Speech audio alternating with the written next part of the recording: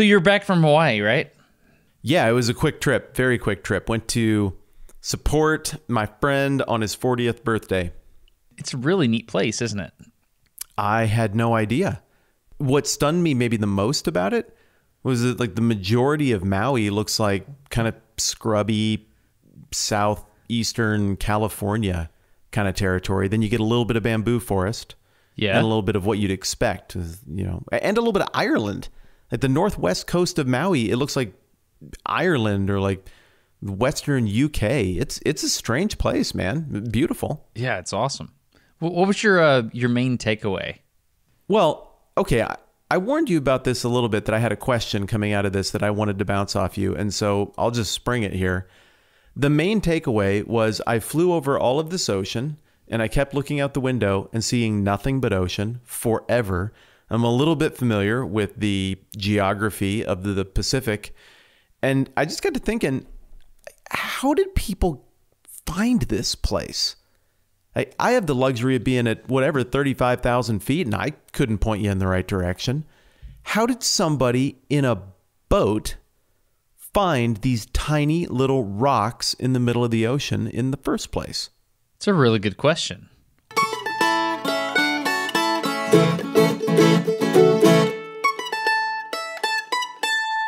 How did humans find Hawaii? When you mentioned this idea to me, I went to some different places in my mind. So I want to talk about how you find a place if you don't know it's there, and then how you find a place if you do know it's there. That's kind of the thing I think we should talk about a little bit. I think bit. we should also then talk about how do you know a place is there that you haven't been to? right. Because I think that's a really key question in how this all worked out. Is that people knew it had to be there, but they hadn't been there. I don't know that they thought it had to be there. We're talking about the sailors of old, the Polynesian sailors that first found the islands. So, are we going to limit Right. this discussion to only Hawaii? Or we're just going to talk about islands in the middle of the Pacific in general. How do you want to do this? We are not good at setting ground rules for our conversations, either with or without microphones. So I think whatever happens is what happens. Okay, this is where I want to start then. So, Okay. When you told me this is what we are going to talk about, I started thinking about it in terms of us on Earth looking out into space.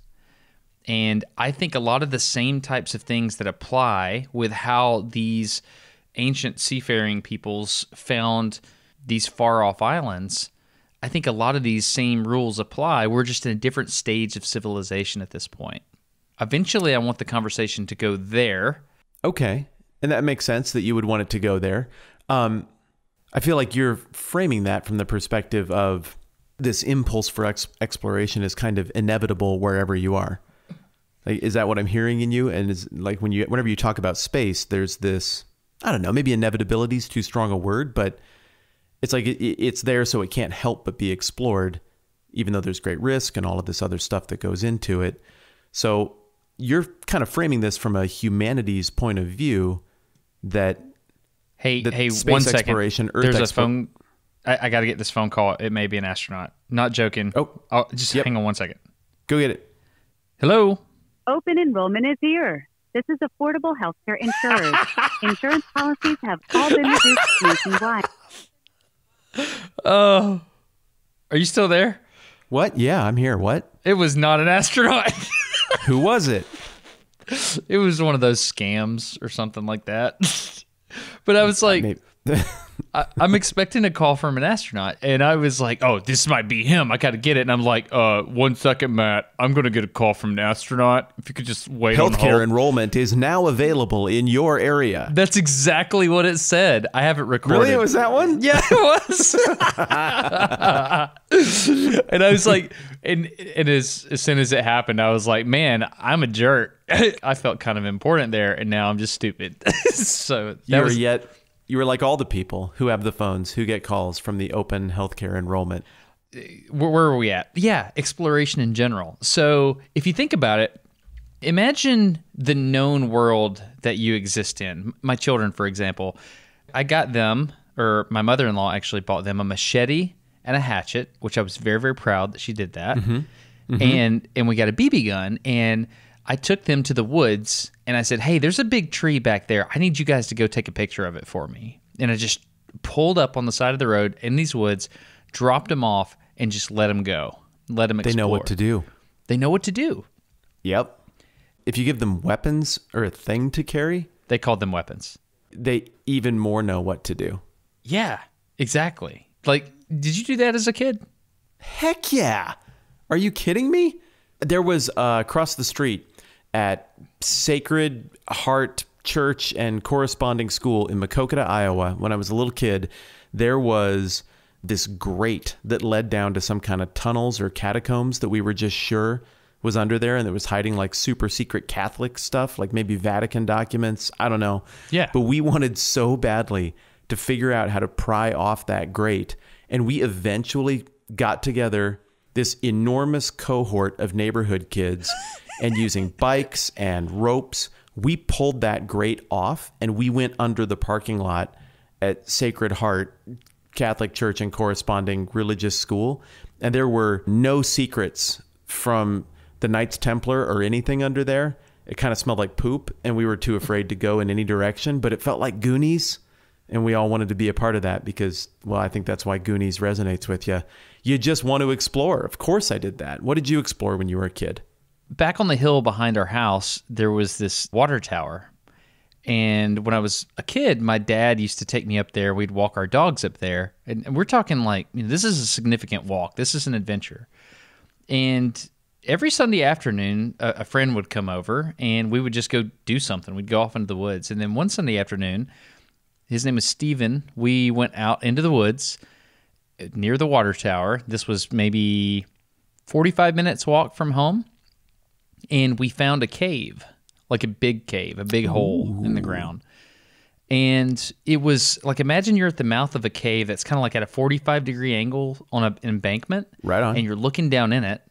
And there's a slope down. It's like a slow ramp that you go down in this cave. Well, we didn't really have any flashlights or anything with us, but we decided to go in there. It's like, oh, that's we could get right back out. Walk down in there, and when the first layer of leaves kind of slid out from under our feet, it was all guano, all bat crap. And and it was all slippery. And we got down in there and we could not get out. We slid down in there. We're like, uh, we're stuck in a cave. so Is that bad? Yeah. I mean, at some point, you want to be stuck in a cave. Uh, yeah, but not when you don't know. You know, nobody knows where you're at. That- Not this sort of situation.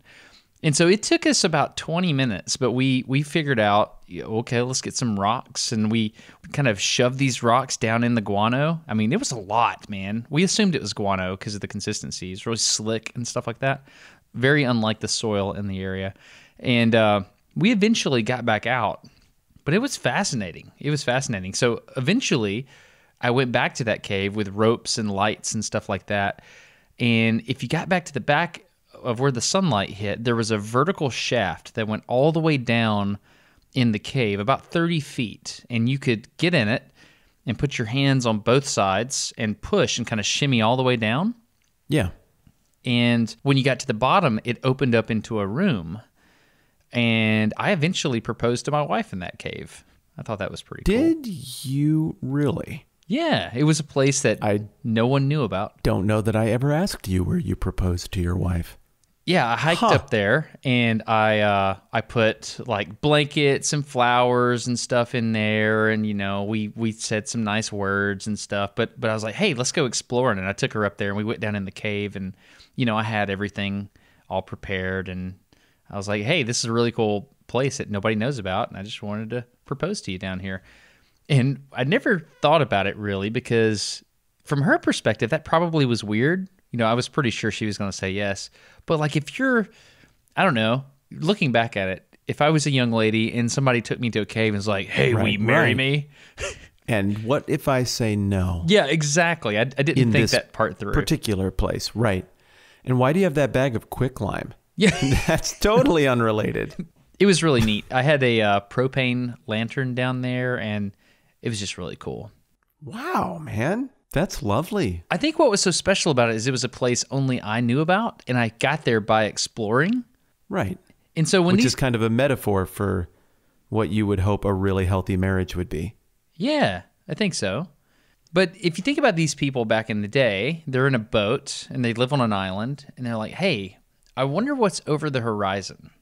I don't know. Let's just go. And then they would go in the boat and then they would find the next island. But how, how far do you push out into the unknown before you find something? Because there's, there's Not two. that far. What do you mean? That's too. It's too far. I just. What's the furthest offshore you've ever swam? Swim, swam, swam, swam. Not at all, dude. I mean, I crossed the Tennessee River one time to say that I swam across the river. I did Okay. that. Yeah. But you've gone like snorkeling off of a coast or something, right? You're talking about I'm standing on dirt and then I go off with nothing but Yes. my, my body power. Correct. How far have you gone? Maybe What's the furthest you've ever been from land just swimming? maybe a couple hundred yards, like in a float or something. Maybe. Okay, in a float. Yeah. Yeah. My friend Brett and I were in Nicaragua and we kind of had to get past some real rough stuff. It's an area called the Corn Islands off the eastern coast of Nicaragua. And you got to swim to get out to the reef. It, it's not like Hawaii where the reef starts, I mean, at the edge of the waves. It's a long ways. And so we got way out there, and then, you know, it was pretty fish and stuff, and you're just kind of floating and swimming along. And then we looked up and we were like, we're very, very far from a place where you could stand. This isn't good. And I don't think either of us panicked, but it was a long haul back in there. And I mean, you, you look at an island from a plane or, or whatever, and you imagine there's just, you know, miles of exploring you could do in that pretty shallow light blue water around islands. But when you're actually there, it doesn't take very far out there to start getting pretty freaky. And so you're talking about exploring these islands the same way you would talk about going and getting into a cave or me pulling up the grate and trying to explore the catacombs across the street or your kids going out in the woods or my kids going out into the woods or on a long hike and you're like just one more hill, just one more hill. But those things aren't terrifying because I can walk on them and I'm used to walking and yet I can breathe when I'm standing on ground. But this is just unending ocean, man. Unfathomably huge volumes of water. No, I'm not sure I do get the impulse to get in a boat and go and figure that out. I feel it when I'm in the woods. I don't feel it when I'm a couple hundred yards offshore swimming. So, no, I, th- I think there's something crazy about these people. Yeah, that's a fair point. Like that's why I think it's not unlike space because you have a certain amount of resources that can sustain you on your boat. Yeah, you can fish. That's that's one good thing you can do in the ocean that you can't do in space, but you have to be able to survive with what you've brought. And the navigation techniques and tactics that you use, that's everything. That either gets you somewhere or don't.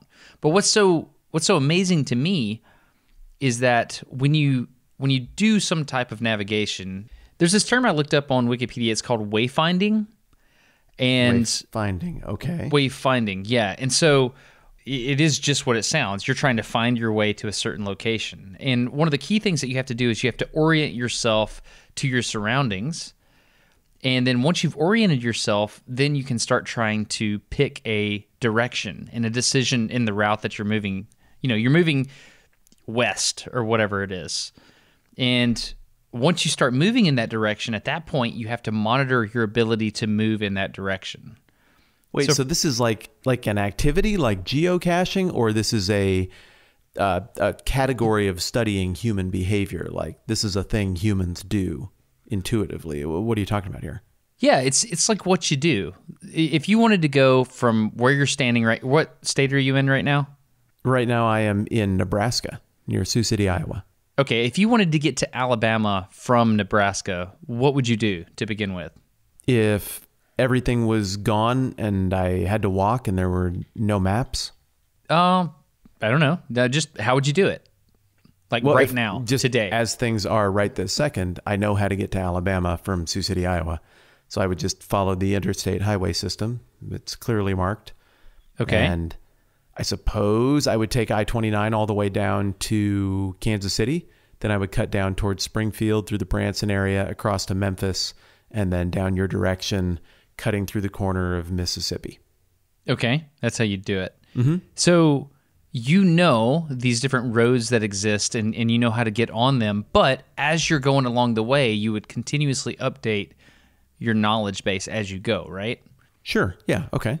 Okay. So the problem with what they did back in the day is they didn't have that final place that they were going. That's what's so fascinating to me about finding all these islands in the Pacific. They started at a location and they just picked a, a bearing and went. But the interesting thing about that is they didn't know where they were ultimately going to end up. You were just going and going until you found land. And once you found land, then you could reorient yourself to that land, but you didn't know it was there until you you just went a crazy far distance out in the middle of nowhere. But like if, if you and I played Battleship here, and we just took a map of Oceania, and if we blew up that map to the size where the tip of a dart would represent the visible range of a human in a boat at sea level. So this is a big map. And then we took those darts and we stood at a certain distance and just hurled them at the map. You're never going to hit land. Uh, You're going to be like 99.999% water and you're not seeing anything. Or at least that would be my guess. I guess I just feel like even if there were twice as many islands in the South Pacific or North Pacific Ocean, maybe it makes more sense. But it just feels like there's nothing. You're just going off into the wilderness of nothing and an ocean that badly wants to kill you. It just feels like you- should never find anything. And that's not mathematic, that's just my intuition. But think about it a different way. Like if did you do any of the research on how they navigated back in the day? Yeah, I did. I did. And so, yeah, I've learned more about it since I asked you the question initially. But at this point in the conversation, I'm trying, instead of pretending like I know a whole bunch that I entirely gleaned from reading, I'm trying to just give you the honest take on how I felt about it when I was sizing it up for the first time. I think about it this way. So if if you are going straight across the ocean and you look left or right, let's say you're 100 miles out and you, you're looking left or right, how far can you see to the horizon? Do you know the answer to that? Uh, I don't know. Um, I don't either. That's a quick Google away. 20 miles? Yeah, that's what I'm assuming, something like that. So if you can see left and right that far, it's like a a circle. A circle of data observation is moving with you. Okay. So if anything bumps into that circle on either side of you, assuming that you're traveling during the day, at that point you you have known information at that location. And if you're good at keeping data, you can go back. So you can go out 100 miles assuming you can keep a straight bearing and then you can turn around and come back. By the way, moving against the wind is a completely different scenario, right? 8.37 miles in all directions. That's the Google answer. That's it. So you've got a 16, roughly a 16 and a half mile diameter that you could take in land if you were to come close to it. That's cool. That's cool. So that's what I would do if, let's say, I was great at driving a boat or uh, sailing a, a canoe of some sort. I would just go out in one direction and then come back. And then the following week, I would angle 10 degrees to the right and I would do the same thing. And then I would angle 10 degrees to the right and do the same thing. That's how I would do it. The following week, you wouldn't be back in a week. I mean, if I went out 100 miles, Wow. But even then, uh, so the distance between Tahiti and Hawaii, and the thinking is that Hawaii was settled by Tahitians, it's like 24, 2,500 miles. yeah, that's freaking crazy. It's freaking crazy, dude. You would I you wouldn't do this systematic like it sounds good. What you're saying sounds so good. And maybe you would do that if you were exploring like your neighborhood or a hilly part of the country. But every time you go out, you are subject to all of those elements and all of that risk. And are you sure you're going to even be able to find your way back? I mean, what if you go out 20 times and on 19 of them the weather cooperates and you're good, but on the 20th you get blown to who knows where? There's no 21st trip, you're just dead. So before you even get into like how would you break down the grid, which I think you're asking the right question there. I'm still just hung up on the human psychology that would say it's worth the risk, we got to do this. All right, so what are we at this week, boys? Well, this week we're exploring the 2200 mile radius around our island. Uh, That's so stinking. I mean, how far is 2200 miles across the United States. That's got to be like Huntsville, Alabama to uh, what? Denver? I have no idea. But California? It's far. We're talking about you and me though. We're we're soft, dude. we are so soft. we're, Pudgy, weak, soft. we are. I mean, the people that we're talking about here, they all have six packs. Yes, They uh they build their own rope. they do. They have those shoulders. Have you seen the show? I mean, there's a reason the Samoans are absolutely dominant at things like football. The shoulders on those people. How much torque and power would it take to move a boat that long? I mean, that is not for people who look like me. Have you Yeah. have you seen my shoulders? I have. I have, yeah. I don't think I'm prepared to paddle 2400 miles, but like Dwayne Johnson, he might have that. He could probably do it. He could probably do it. God, that guy that if he ran for president, he would win, by the way. I don't even know what he thinks and I might vote for him. Yeah, I know. He would win. That'd be weird. It'd be weird to vote for a candidate who won. That's not really my lot in life. I haven't done that in a long time either. No, I just I just vote for things that lose all the time. I still have to do that whatever wins. I have to work with that. But my things don't win. They never win.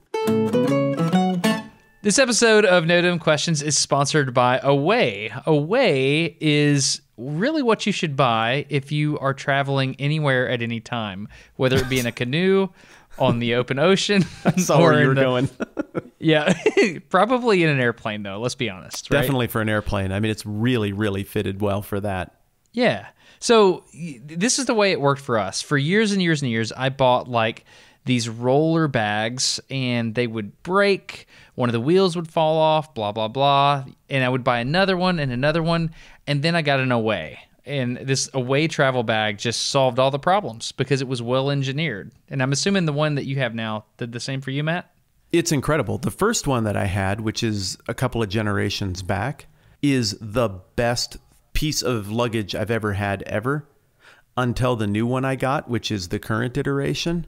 And it's just bliss. I don't use anything else. Everything else has been benched or sold or given away or whatever.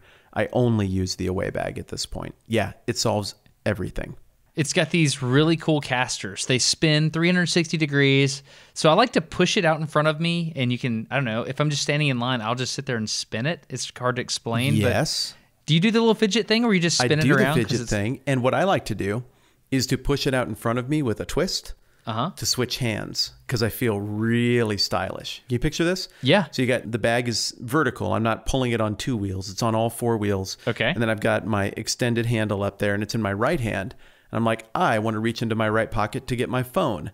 And so what I'll do is I'll just on the tile floor of the airport, I will spin one rotation, pushing the bag forward, reach into my right pocket to pull out my phone, put it to my ear as my left hand just arrives where the bag has spun to, and I look like the most stylish person in the entire airport if it weren't for my face.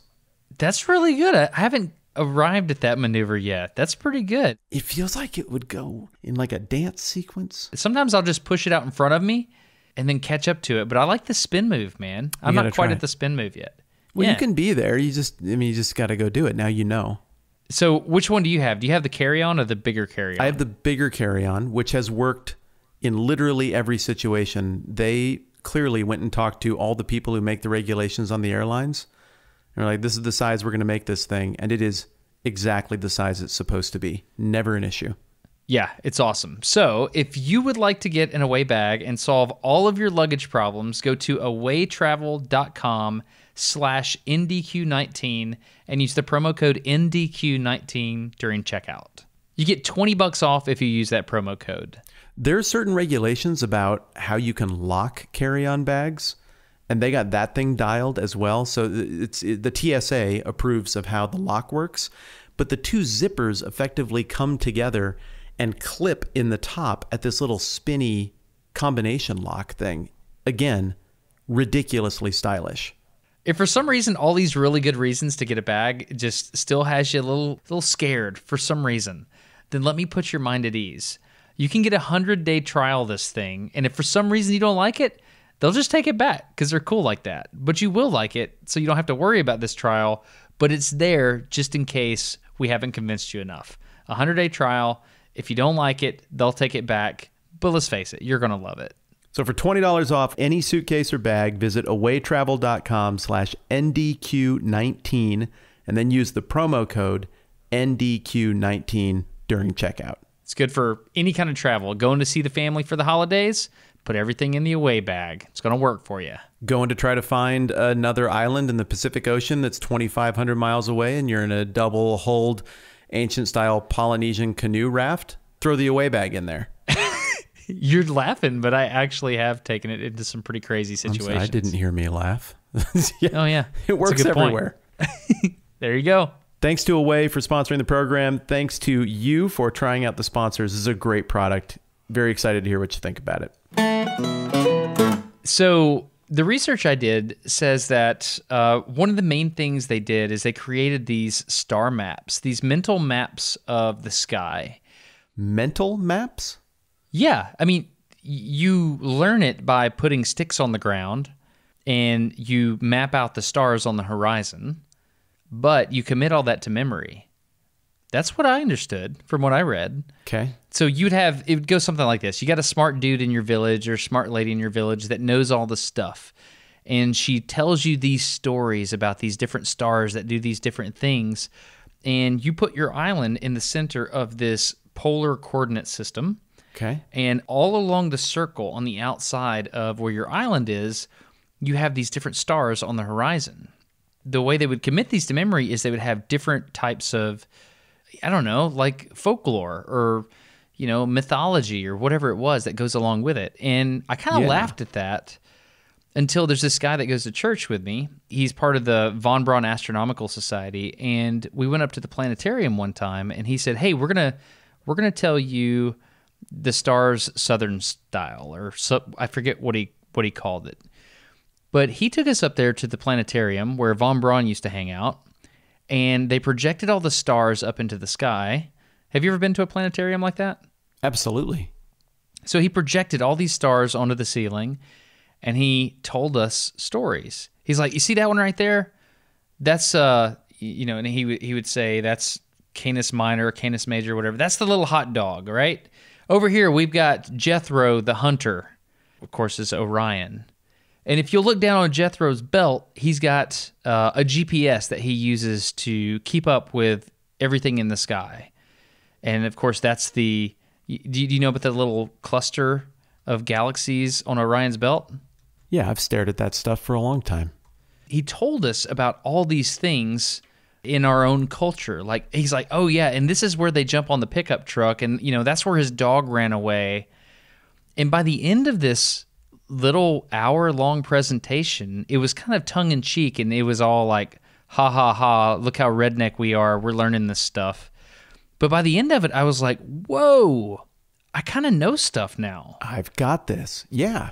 That mnemonic device thing, it's real, dude. Yeah. Uh, There, there's cheats and shortcuts. We've talked about this before that I've used from ages past in school. And anytime I used a memory device to commit something to my brain, I still have it. And stuff that I didn't, the only reason I still have it is because I use it a lot. But even if I don't use something that I committed to memory with a trick, I have it forever. Right. And so you're saying that's how they painted these mental maps of the stars was with legends and myth and storytelling. That's my understanding from what I've read. Dang. So imagine Well, hold on. Like just uh, uh, that's incredible that the mingling of religion and myth and like the most important trade or human technique that these people had it was all mushed together into one thing. I mean, that's fascinating to me. So I'm getting most of this from. There's a lot of different resources for this. The Polynesian Voyaging Society is really interesting. That I am familiar with. Yeah, they recreated this boat and they sailed literally around the entire world with it. It's called Hokulea. Hokulea. Yeah, I don't think they went around the whole world. They didn't circumnavigate the globe. No, they went around the whole world. They did? Yeah, th- this society they reproduced this boat in the 70s, and it's since literally been around the entire world. Really? In in one voyage? No, no, no, no. They they broke it up. Okay, that makes sense. Yeah. there was an impulse toward that. There was a guy from maybe Norway in the 1940s, Thor. It was a Trivial Pursuit question. That's the first time I ever remember hearing about it. Thor Heyerdahl, Heyerdahl, something like that. And he had um, he had this theory that parts of Polynesia were maybe settled by people from South America or vice versa. I don't know. It's been a while since I've looked at this, but he put together this float, this kind of raft thing called the Kon-Tiki raft, and sailed with a bunch of other, I assume, Scandinavians in the 1940s and then wrote a book about it. And I never read the book. I'm looking this up. Is this Thor Pedersen? Heyerdahl. There it is. Just found it. Okay. Yeah, Thor Heyerdahl, and it is the Kon-Tiki expedition, 1947. That's in the ballpark.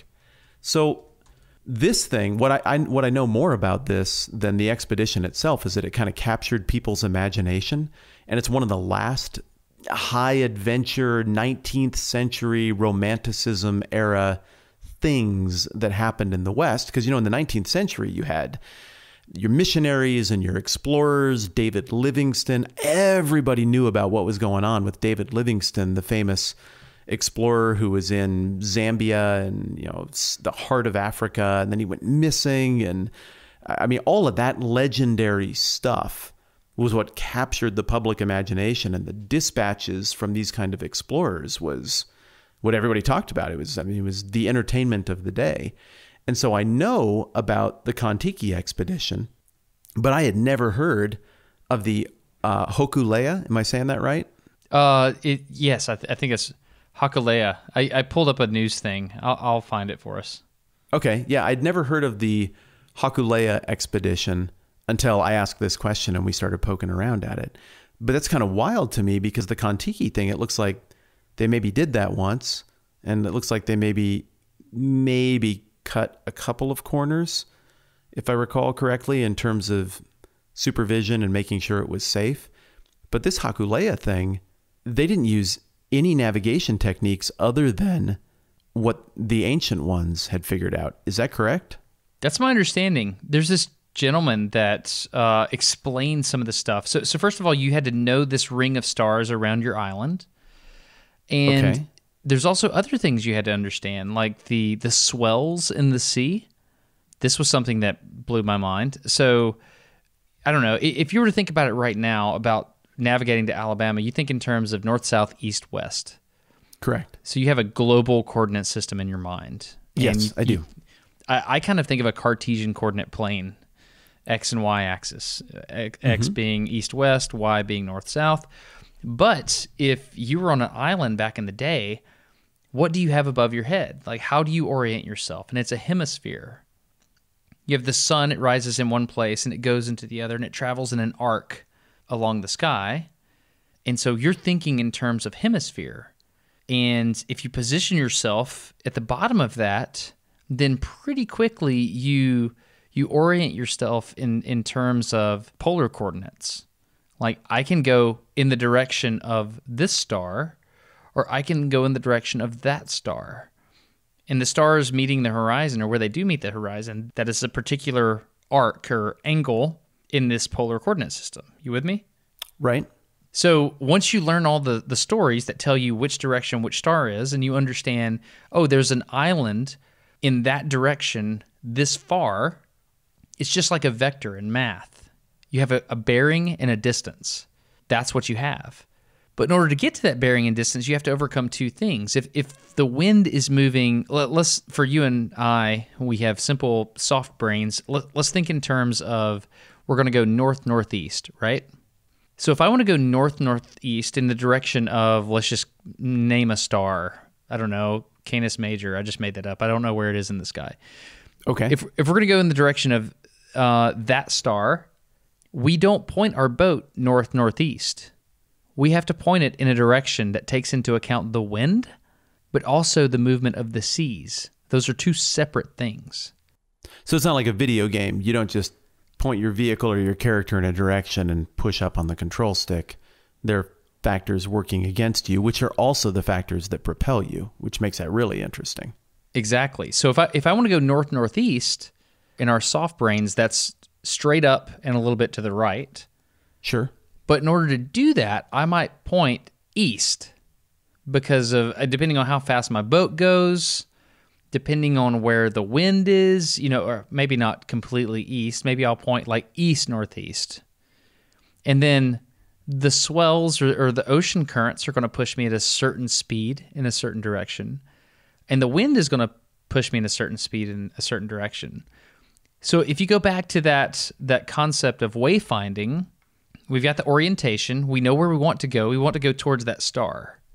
And we're going to decide on that route. We're going to go in that direction. But the most important thing that we have to do is we have to monitor ourselves along that route. So if you and I decide to point east northeast and we start going in that direction, but instead of going north northeast, we end up going northeast, that matters when we're talking about these distances. It matters a Oh, lot. Oh, sure. Yeah. But if you have all your stories down and you Right. know where the bear battled the cat and the scorpion attacked the goat and all of those different things, Right. you can theoretically make corrections or micro adjustments each night when you can see the stars. Right. Or the sun. What happens if you can't see the stars for a week? Oh, well, so in my mind, I was like, well, you're hosed at that point. But getting into the weeds on this stuff and reading this stuff, these guys could read the currents and they could read the swells of the oceans. But how do you accumulate that data in the first place? Did you find the Marshall Islands stick chart? Did you find that? No, I saw uh, Mau Piailug, I think it's how you say the guy's name. I don't know what you're the talking. Micronesian guy. I saw him doing a stick chart on an island. Google real quick just to get get our, our, our minds in the same place. You're gonna have to take me to where you're going in a second. I don't I don't know that yet. Let me show you what I know, and then you show me what you know. So That sounds good. G- Google Marshall Island stick chart. Marshall Island stick chart. Okay. Stick map. There we go. All right, let's see what we got. Oh, oh. Isn't that crazy? What am I looking at? Yeah. Okay. So are you on Wikipedia or where are you at? Uh, I'm just on Google. I'm not even into the Wikipedia thing yet. No way. I know exactly. Isn't that cool? You have got to be kidding me. no, no. this This, what is this is this is not what it looks like at first. It. What does it look like? Tell me what you think it looks like. uh, Just describe it. Describe it for the third chair, and then tell me what you think it is without reading. it looks like something that was in the set decorator's mind for the Blair Witch Project. It's like just some stupid sticks Yeah. and stuff, and they're all layered over each other. It looks like maybe like a dream catcher or what non Native Americans imagine a dream catcher would look like. But what I think it is, because Well, well, I see all of these little. Before Okay. you explain what it's made of and explain how it's bound together, explain it for the third chair real quick before you go any further. Yeah, okay, sorry. I'm I'm excited. This is interesting to me. It looks like a bunch of little sticks about the size of a large book that you would be holding open in front of you. It is in a 16 by 9 orientation, as we are used to, and it's mostly negative space, but there's just a lot of sticks tied together. You know, there's a few spaces where you could reach your hand through it, but all the sticks seem to be tied together haphazardly, but I'm of the impression that this haphazard connection isn't so haphazard.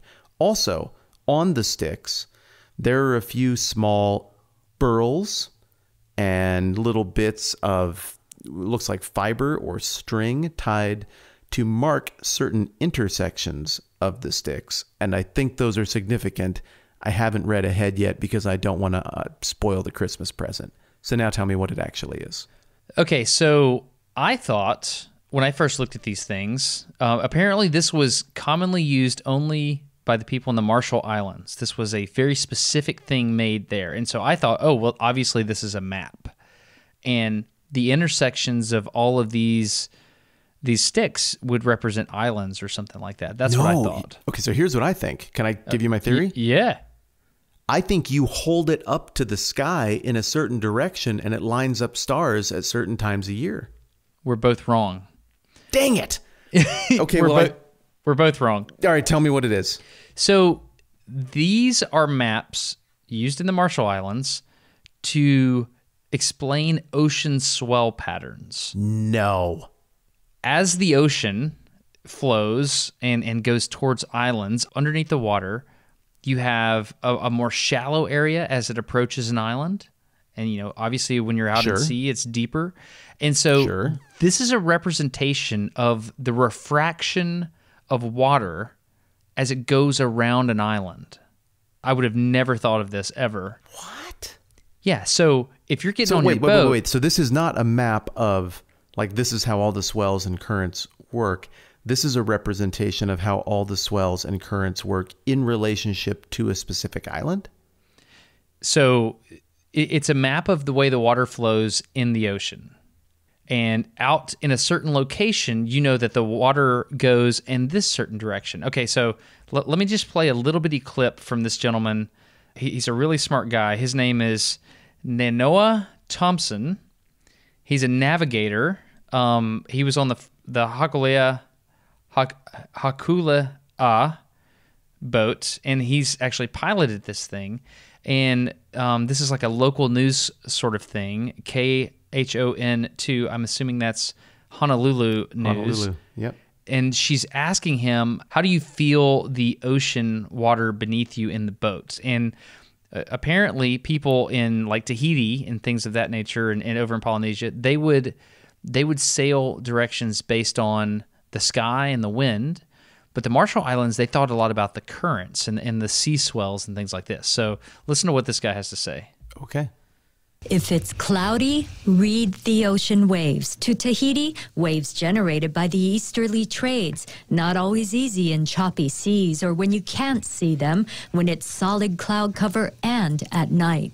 Like Mau would say, if you can read the wave, you're never lost. So your job, if you're going to Tahiti and you're heading south, you want to have the wave come from the east. If you're looking forward in the canoe, you go through your left foot and come out your right foot. That's how you do it. You hear what he said? So, Yes, I heard what he said. so if That's you're if, unreal. if you're facing south, going towards Tahiti from where he's at in Hawaii, and and then you want the wave to come from the left side of the boat, come through your left foot and go out your right foot, and that's reading the ocean. So I thought you just looked at the stars in the sky and things of that nature, but apparently you can actually read the water itself because the water is going to change based on how deep the ocean is at any place. And it, it's i mean think about it. You've got a whole ocean of water flowing towards hawaii.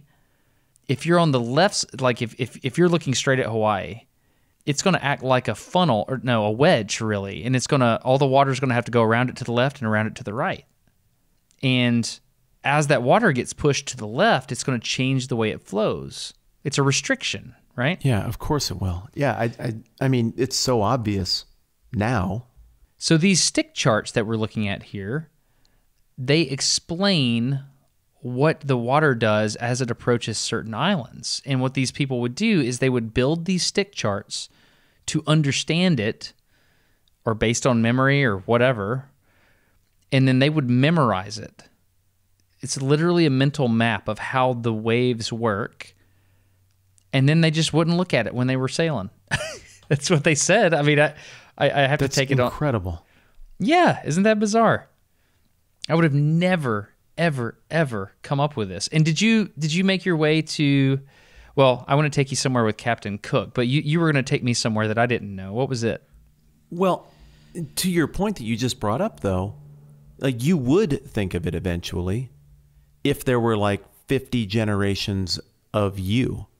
This is just the kind of stuff that I think you gradually wrap your brain around culturally. I mean, there's not one eureka moment, I don't think, in all of this where like one lady was sitting there and she's like, wait a dang minute. Here's how the whole ocean works. Now we can go do the thing. I mean, you, you got to try it out, and trying it out takes weeks or months every single time. People have to, I mean, you're going to, people are going to die to get this data and figure it out. Now we can Google it, but, but people had to be, had to be lost at sea. It's just a price you had to pay for someone to be able to come back with this information. It's the, the unbelievable cost of time, of thought, of even life, of resources that went into making this picture I'm looking at that's like 30 sticks tied together. That's just unbelievable to me. It's wild, isn't it? It's wild. Yeah. Who would have thought that this would so trip my wonder trigger, but boy, does it. So th- this uh, Mau Peleg, Peleg guy, Mhm. did you see his name at all come up when you were looking at things? No, I did not. Okay. Let me see if I can get the story right.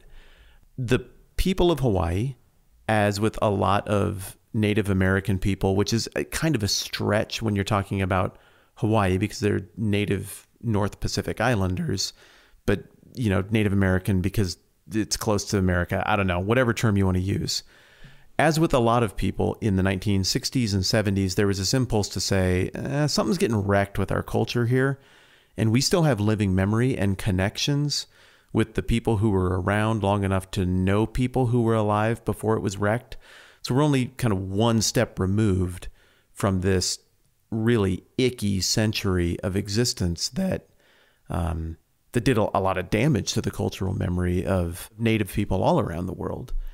You well, I, I'm in South Dakota now, right? And you remember the stories about all of the Native American protests and uprising isn't really the right word, but even standoffs that got kind of hostile over this sort of defiant insistence on preserving something that was being lost.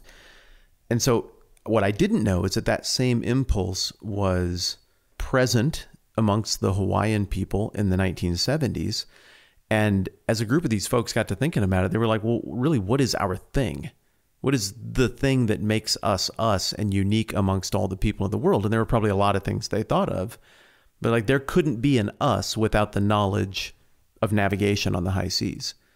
We got to figure out how we used to do this before this becomes another one of those bits of knowledge that are lost to history and, and never to be recovered.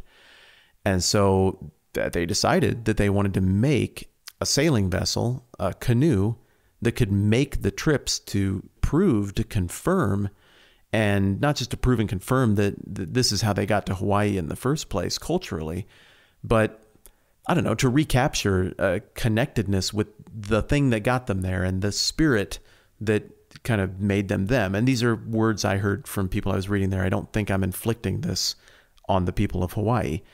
And so this team goes out to figure out how they're going to navigate it. And they think they can build the boat, but they want to get to Tahiti, French Polynesia, 2,500 miles away. They don't know anybody who knows how to do it. So they go on this like Cinderella style, go around and figure out who has the foot that'll fit the slipper kind of search to find anybody in the Pacific Ocean who still knows how to navigate like this. And they ask around and they get nothing. And eventually they end up in Micronesia at this little tiny island called Satawal. I'd never heard of it before. And there is this guy who lives there named Mau or Ma. And he apparently had been taught by the elders who had been taught by the elders who had been taught by the elders how to do this type of navigation. And they convinced him to come to Hawaii and show them how to do it so that the knowledge would not be lost. And I'm telling you, man, it looks like this knowledge was like less than a handful of people away from going completely extinct. And then we would only have to guess as to how people used to do it. But just in the nick of time, they encounter this gentleman and he shows them how to do it. And so they put together this boat, they put together this crew, and somewhere in the 1970s, I don't remember when, they successfully navigate with nothing from Hawaii to Tahiti. Again, like 2,500 miles. And they don't lose anybody. It sounds like the trip got a little bit tense, but they get the thing done. And then they use this vessel to sail all over the place, including to, and I don't remember the original name, but I, I think it's Easter Island, which is like the most remote chunk of Earth on the whole planet. Just amazing. Is it Hakalea? Hakulea The is the name of the, the boat. Yeah.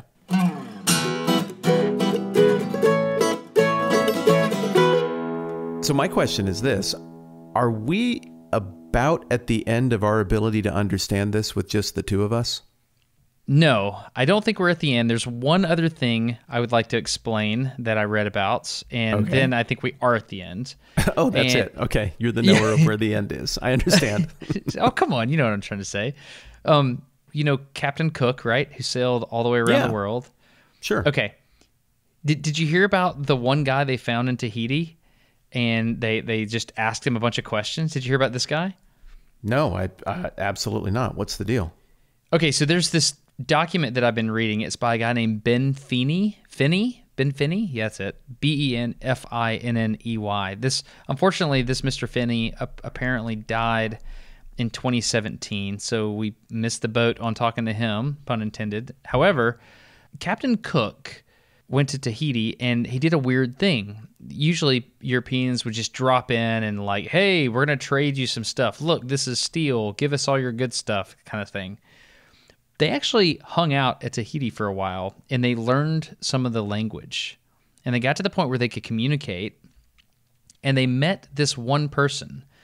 They call him is the word I've only seen the word written down, but I've never heard it. Polymath? Polymath? A person that knows a lot of things. What's Knows a lot about a lot of different stuff. Yeah, polymath. polymath. So they met a polymath on the island of Tahiti, and his n- name was Tupai. This is awful. T U P A I A. Tupaya? Tupaya, maybe? Okay, that sounds good. So anyway, they get to the point where they could communicate in broken words, and they sat down with this guy, and they're like, "Okay, man, tell us what you know. Like, what are the islands around us?" And he sat down and started drawing, and he was able to identify like seventy islands around them, and it covered forty degrees of longitude and twenty degrees of latitude. That's like the Okay, wait a minute. Wait a minute. Wait a minute. Help me understand that. 40 degrees, you said, of longitude. It's like the size of the Wow. continental U.S. Yeah. Okay, here's the upshot. In 1769, they sat down and they started talking to this guy.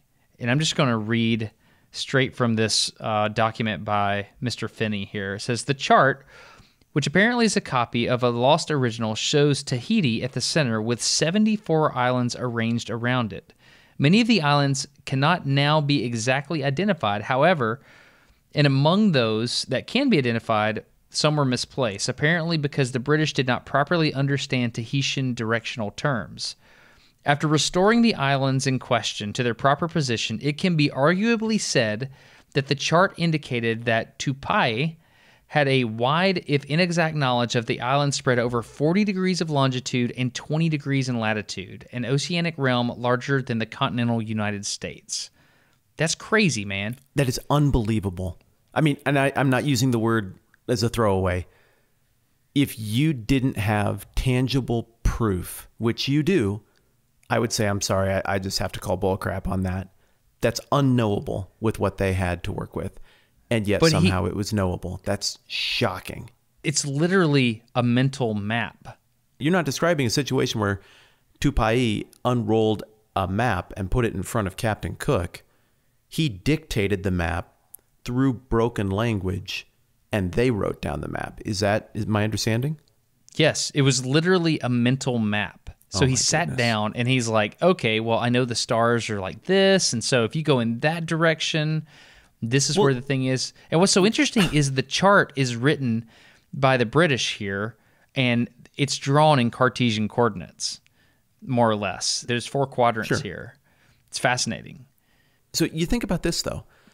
Like how much could you I mean you certainly would be uh, on the short list of smartest people I've ever met. No, not true. How much? so you know all the people I've met.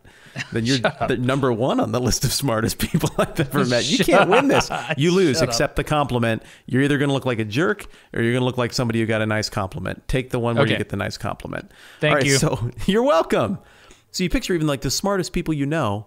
You're like, all right, give me a mental map of your surroundings. How far out would your mental map be accurate from your home as the the center point? Five miles, ten miles, fifteen? When would it start to break down? Do you think? I, I, I've thought about this, and the way my mental map works is it works along roads. And so, like, if you go west from here along a certain highway, I can take you all the way down that highway and I can tell you what's on each side of the road the whole way. Mm-hmm. But sometimes I'm shocked because when I look at a map from the top down, God's eye view, I see that that road is not straight. I didn't even mm-hmm. notice this turn almost to the north. I didn't even notice that turn back to the south because to me, it's just like, oh, well, about 300 yards past the McDonald's is the whatever. Eh, it's just bizarre, man. I, I agree. I think that deterioration happens really fast. And I think Oh, you you know I think if the third chair hit pause right now and they did the exercise, like don't look at a map, but just communicate details to somebody else in the car with you or whatever and take it out as far as you can and then look at a map, I think or just draw a map of your surroundings and then actually look, I think you will find that your brain lies to you about how much you actually know about this tiny little area that you live in, let alone an area the size of the continental United States. But you were trying to say something. Go ahead. I have data. I, I just realized I had data. Okay. So Jeremy Fielding and I, we had to load a truck onto a trailer down in Smoke Rise, Alabama, which is a city I did not know existed. It's got a good name. Only like 40 miles from here. It's no spearfish, but that's pretty good. Yeah, no. About 40 minutes away, his truck broke down. I went down and we loaded his truck on a trailer and we were having problems getting it on the trailer. And so we used, guess what? A snatch block. Snatch block. Yeah, snatch block to get it up on the trailer. And this dude stops to help us. And he helped us get it up on the trailer. And I wanted to say thank you. So I wanted to take him something. And uh, so I called him. He told me, Well, it's like this, man. I ain't got no cell phone. I got tired of hearing that thing ring. So I just done away with it. But if you want to, you can call my girlfriend. She'll get in touch with me. And then we can meet up then. I said, All right, man, let's do that. So I called his girlfriend and his name is Jeff. I said, Jeff, I want to come down there and give this to you. Where do I meet you? He's like, Well, you're up there. I'm down here. How about halfway? I was like, All right, what's halfway? About Cullman. Cullman work for you? A bunch of exits. Which one you want to meet at? And I said, Well, dude, I let's see. You got the there's Highway 69. Yeah, Highway 69. You turn off there to the left and you go over to the lake. We could meet over there. And so he's thinking from the south, Smith Lake is in a certain location. I'm thinking from the mm-hmm. north, I have to turn the opposite direction. And we're thinking about what exits to meet at. Mm-hmm. And we're about to navigate to each other with no cell phone coverage. When's the last time you did that? I can tell you the last time I thought about it was a couple of weeks ago, but it has been a very uh, overseas travel would be the last time I've done it. Trying to coordinate signals with people on that trip I led to Rome a couple of summers ago who didn't have phones. We were 20 minutes away from the meeting spot and it took me an hour to get there. I kid you not because because I went straight down south on Interstate 65 mm-hmm. and he said he said in the conversation, "Yeah, Highway 69, turn over there to go to the lake." Well, there's three exits that you can turn to get to the lake. And I said, "Is that exit 308?" I don't know. And so we got lost. There were three exits that had signs for Highway 69 on it. I stopped at every one of them and could not find his blue truck, which was the indicator of him. and mm-hmm. I eventually called his girlfriend and I was like, Hey, is Jeff there? She's like, No, he left as soon as y'all got off the phone. and I said, Where is he going? I heard him say something about exit 308. And I was like, Well, gum. I guess I'm going to exit 308. So I turned back around. Took us an hour, dude. Eventually found him. My point is, it's really hard to navigate when you don't have a cell phone to call somebody in the last 100 yards of where you're trying to meet them. Ain't that the truth? Can't do it, dude. And I'm sorry, that took way too long to describe. I apologize. I found it interesting. I find all of this interesting though, because we're talking about something as simple as how do you get to the place you want to go? And it's something that clearly this conversation is demonstrating that we enormously take for granted. Very competent people in the past had to figure this thing out. And my point, to your point, to my point, is that I think the simple exercise of draw a map of your surroundings and then look at an actual map and find out, see what your deterioration rate is as it goes out, I think it'd be fascinating. I think people would discover shocking things. Here's one that, well, I would say this I think that we are very much like the people of Oceania in that we attach story to location and navigation. We just don't notice it. So for me, What do you mean? um, okay, Texas. I got a story attached to Texas, and the story is it's right up against Mexico, and I picture people in cowboy hats and the Alamo and things like that. And I'm from the West, so all of that stuff happened east of me in Texas, which is kind of the place that's halfway between the East and the West, but it's like its own Tex Mex South thing. It's, it's its own story, right? But then you actually look at a map. El Paso, Texas is west of Denver, Colorado. El Paso, Texas is almost straight in line north south with Lander, Wyoming. What? What? Yeah, that's the correct response. Huh? Santa Fe, New Mexico is east of El Paso, Texas. Wait, hold on. I'm not making stuff up. Hold on. The one that threw me is you said El Paso was the same north south as Lander, Wyoming. That can't be right. It's just east. It, it comes in closer to Casper. But yep, it's that far west.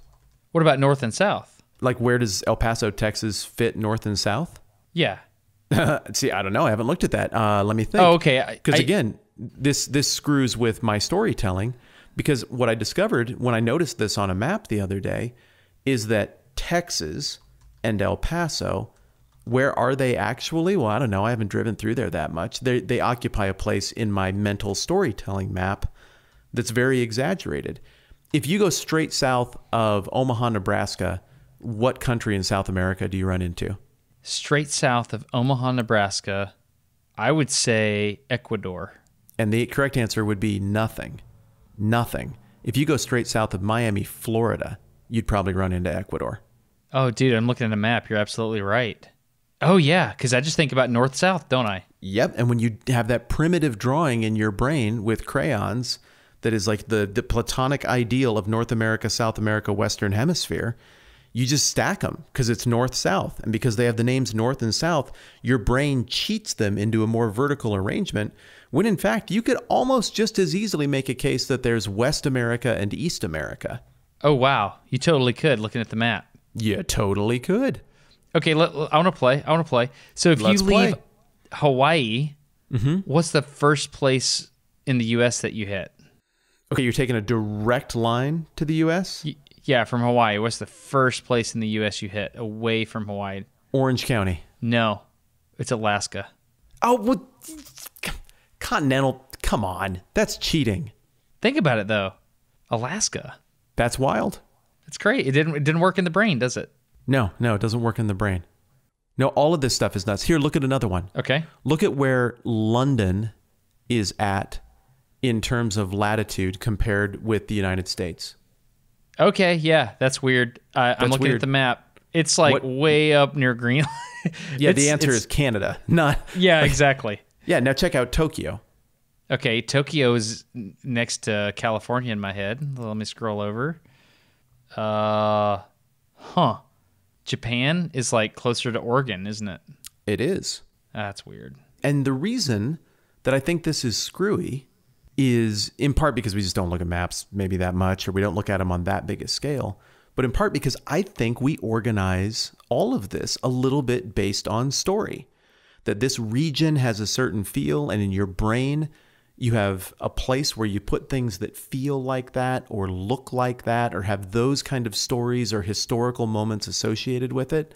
And things that look like this go over here, or, or we lump it by weather like because we don't think of London as being a super snowy town, but more of like a foggy town. Yeah. We maybe don't think of it as being as northerly as it actually is. And because places like, I don't know, you get what I'm driving at, right? Yep. I think we lie to ourselves in terms of navigation. And so, what these ancient seafarers had to figure out on the Pacific was how to divorce themselves from all of those narrative lies and tell themselves the absolute truth about where stuff is, or they die. I had no idea how difficult this was. It's pretty fun, isn't it? Yeah, it is. So, are we going to try to get these people on?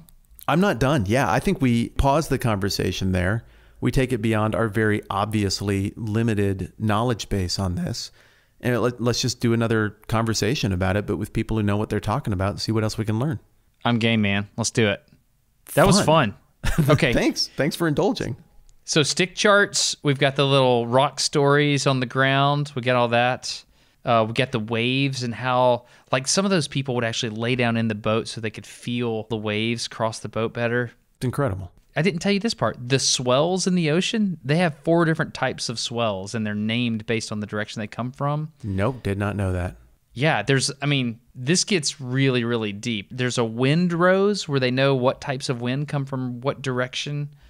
Let's just get an expert on. Yeah, yeah, let's do. I'm in. And yep, I got more stuff I want to bounce off you, but as much as I love you, nothing personal, I'd rather bounce it off somebody who's actually been out on this uh, on the seas doing this stuff. Somebody that's not soft. I wasn't saying. I mean, maybe kind of, but I think you're saying it too, and I'm not offended. Yeah, I'm saying it. I'm saying If I have questions about the geography of northern Alabama, you are who I want to talk to. Sweet. Thanks. Okay, just some affirmation on the way out the door. All right, all right. Let's uh yeah. Let's get somebody on the horn and do it again next time. All right, buddy. Have a good one. Sweet. Talk to you soon.